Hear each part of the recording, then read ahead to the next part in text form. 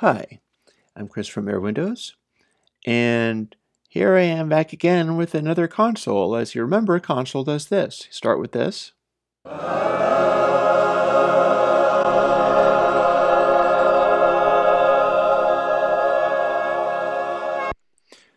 That lovely rich warmth. Well, what if you had, say, Purist Drive also built into console? Both the channels and the bus.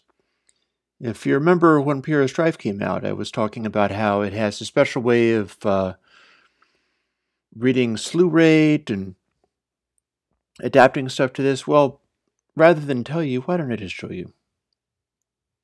This is console 5.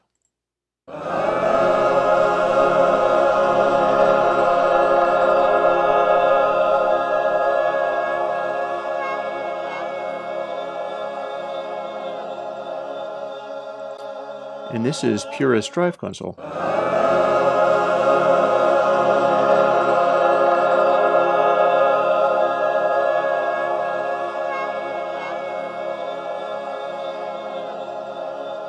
And then I'll turn it on partway through.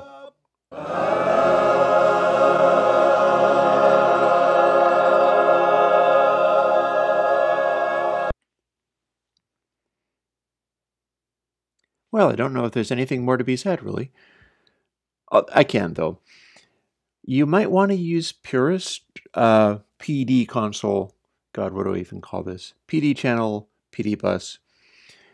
You might want to use it if you're looking for a tone that's sort of more rounded and uh, with a certain kind of warmth to it.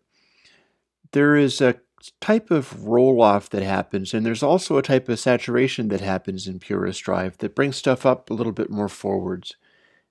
Gets a, a little dense, and the texture of things is a little bit richer. And I'll just I'll, I'll go back and forth again. I'll show you first console 5. Then Purist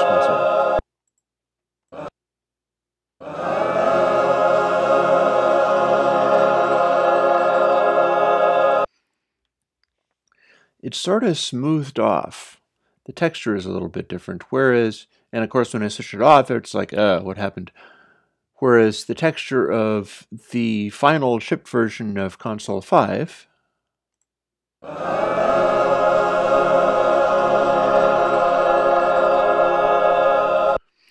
there's a sort of big spatiality to it. It's a little bit bigger, it's a little bit wider, wilder but it's also a little bit less full, a little bit less rich. There's a kind of sparseness in there.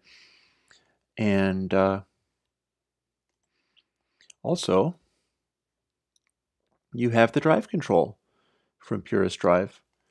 So if you want, you can turn that off for a channel, and it'll still work as a console channel. And same is true for the bus. So what we do is, if we're running this like this and go, well, hang on. Have to enable it first.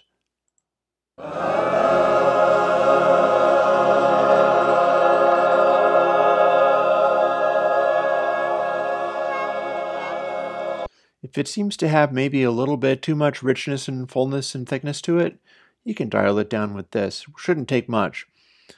And you go from here to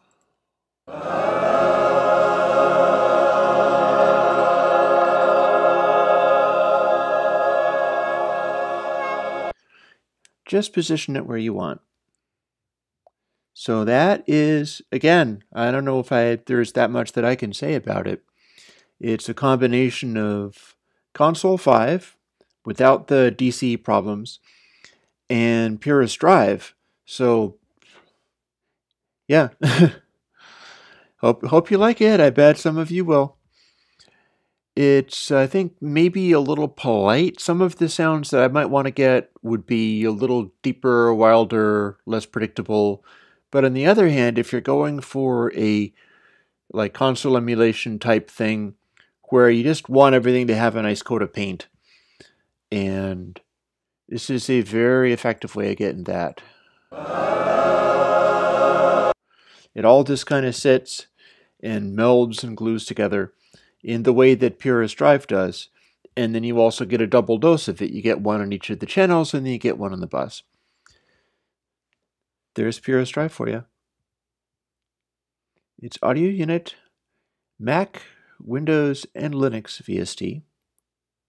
And it is free because it's supported by Patreon, and it's open source. By the time you see it, it'll be out as open source. Hope you like it.